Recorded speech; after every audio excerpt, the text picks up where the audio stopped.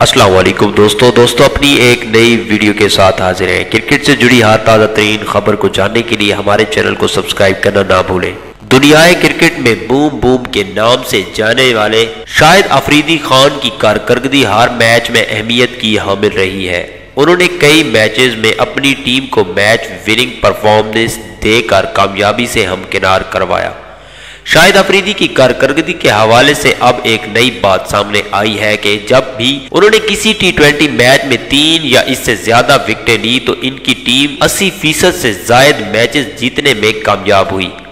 گزشتہ روز کراچی کنگز اور لاہور کلندرز کے درمیان ہونے والے میچ میں لالا نے چار اوورز میں انیس رنز کے عوض تین وکٹیں حاصل کی۔ انہوں نے میچ میں پہلا بریک تھرو فخر زمان کی وکٹ اڑانے سے دیا، جس کے بعد انہوں نے عمر اکمل اور سہیل خان کو بھی شکار کیا۔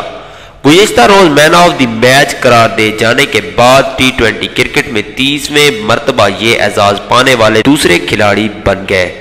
تو دوستو، یہ تھی اب تک کی ہماری ویڈیو۔ شاہد خان افریدی کے حوالے سے مزید ویڈیوز دیکھنے کے لیے ہمارے چینل کو سبسکرائب کرنا نہ بھولیں اور ہماری ویڈیوز کو لائک اور شیئر لازمی کریں۔